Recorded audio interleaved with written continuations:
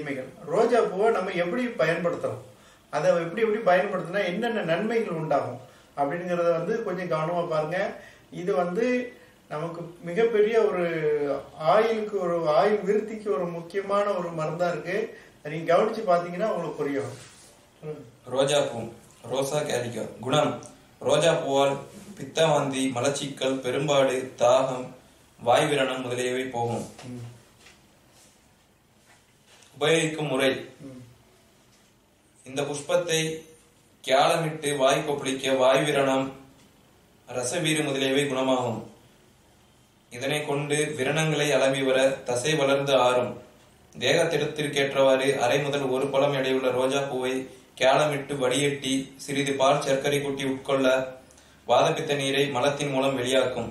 இந்த புஷ்பத்தின் இதழ்களை நிழலில் வதங்கும்படியாக சிறிது உலர்த்தி இரண்டடை சீனா கற்கண்டு கூட்டி ஆட்டுக்கல்லில் இட்டு குழவி கொண்டு ஆட்டி உறவான சமயம் வலித்து ஒரு அகன்ற கோப்பையில் போட்டு போதிய அளவு அசல் தேன் விட்டு பிசறி ஐந்து முதல் ஆறு நாள் ரவியில் வைத்து எடுக்க உயர்தரமான குல்கந்து ஆகும். இதை ஜாடியில் பத்திரப்படுத்துக.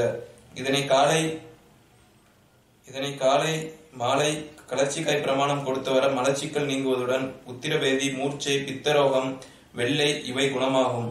இன்னும் இதனை நீடித்துக் கொள்பவர்களுக்கு இருதயம் ஈரல் நுரையீரல் தீனிப்பை குண்டிக்காய் கருப்பை குடல் ஆசனவாய் முதலியவற்றிற்கு பலத்தை கொடுக்கும். இந்த புஷ்பத்திலிருந்து பன்னீர் செய்வதுண்டு.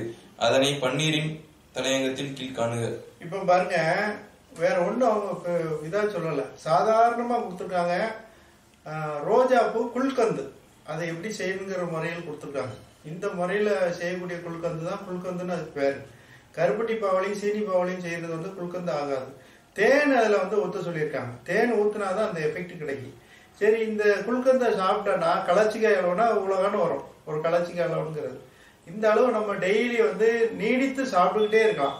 சாப்பிட சாப்பிட என்ன ஆகும்னா உள்ளுறுப்புகள் எல்லாமே பலமாயிருது உள்ளுறுப்புகள் வந்து பிரெயின்ல இருந்து கிட்னில இருந்து லங்ஸ்ல இருந்து ஹார்ட்ல இருந்து எல்லாம் குடல் குடல் பை திணிப்பை எல்லாமே வந்து பலமாயிருது இப்படி பலமாயிருச்சுனாலே உங்களுக்கு ஆயுள் விருத்தி உண்டாயிரும். அது போக என்னன்னா வாத பித்த நீர்களை வெளியேற்றுது. இது போக பல்ல சம்பந்தப்பட்ட எல்லா வியாதிகளையும் போகக்கூடிய தன்மை இந்த ரோஜா பூக்கு இருக்கு. இதை விட ஒரு மருத்துவ குணம் வாய்ந்த ஒரு நல்ல மொழியை வீ- ரோ- கிடைக்கும். பூக்கடையில போய் நீங்க வந்து ஆனா நாட்டு ரோஜா பூ பார்த்து வாங்கணும். இந்த ரெட் கலர்ல இருக்கும் அது வாங்கிறாங்க ரோஸ் கலர்ல இருக்கும். இந்த இந்த- இந்த ஸ்கிரீன் கலர்ல இருக்கும். பாத்துக்கிட்டீங்கன்னா இந்த கலர்ல உள்ள ரோஜா பூ தான் ஒரிஜினல் ரோஜா பூ. இந்த ரோஜா பூக்கு தான் இந்த மருத்துவ குணம் உண்டு. நீங்க ரெட் கலர்ல இருக்க ரோஜா பூ நீங்க யூஸ் பண்ணீங்கன்னா அந்த மருத்துவ குணங்கள் நம்ம பார்க்க முடியாது. அதனால இந்த நாட்டு ரோஜா பூ வாங்கி குல்கந்து பண்ணி பிள்ளைங்களுக்கு பிரெட்ல கட் பண்ணி ஈவினிங் டயத்துல கொடுங்க. கொடுத்தீங்க அப்படின்னீங்கன்னா நம்ம வீட்டுல செய்யுங்க குல்கந்து. செஞ்சு வீங்க. அப்படின்னா வியாபாரிகள் ஒரிஜினலா தேன் ஊத்தி கொடுங்க. இந்த கருப்பட்டி பாவு சீனி பாவு ஊத்தி குல்கந்துன்னு விற்காதீங்க அது வந்து கிருமிகளை உண்டு பண்ணி விட்டுரும். அதனால நீங்க தயவுசெய்து வந்து தேன் ஊத்தி விலை கூட வச்சு இது பண்ணாலும் தேன் இப்ப கிட்டத்தட்ட முந்நூற்றம்பது ரூபா நானூறு ரூபாய்க்கு இருக்கு தேன். ஆனா வந்து இது செய்யறது கொஞ்சம் கட்டுப்படியாகாதுங்கிறதுனால செய்ய மாட்டேங்காங்க வியாபாரிகள். இந்த மாதிரி குழுக்கந்து ஒரிஜினல் குழுக்கந்து போட்டு நீங்க வியாபாரம் பண்ணுங்க.